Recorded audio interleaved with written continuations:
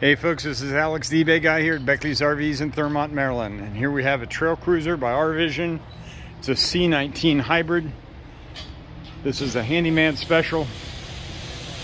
I'm just gonna put it out as a no reserve auction. Whoever gets the high bid wins it. It is, it's got everything there, but it needs a lot of work. Uh, tires are original. You're definitely gonna wanna get new tires for it uh, just to roll it down the road. Um, we gave it as good a bath as we could with the time frame that we had. It's got two Amerigas bottles on the front that are refillable. You got a separation in the fiberglass here underneath the body.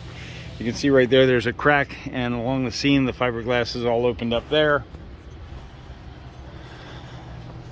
The awning has a few little spots in it. It is usable the way it is. And then let's go to the inside.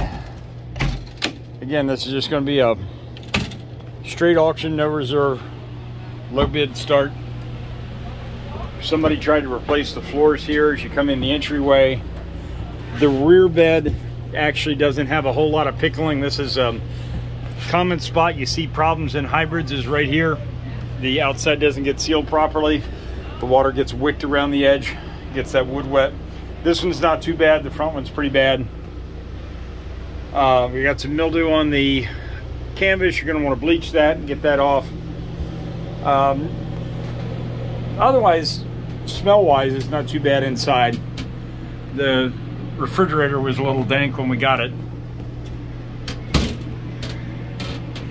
The door obviously has been removed so they could put the the flooring down.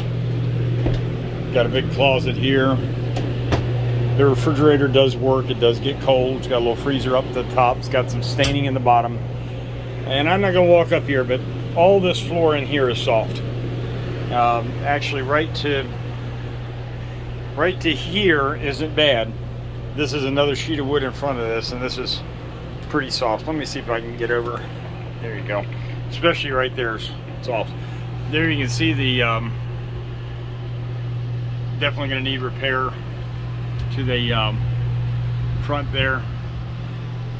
If somebody's just looking for a cheap, inexpensive camper, maybe you're going to gut it, um, make it into a mobile office or concession stand or something, this would be great for that. Um, otherwise, it will need um, quite a bit of work. Air conditioner blows cold, heat blows hot. Uh, just understand the project you're going to take on. You know, putting a new floor in so it's solid. Uh, you could just lay over the floor that's there. That's that's a common thing to do, you know, with these uh, little R-Visions with uh, laminated floors. Anyhow, if you got any questions, call Alex, the eBay guy, 240-405-7790. That's 240-405-7790. Thanks.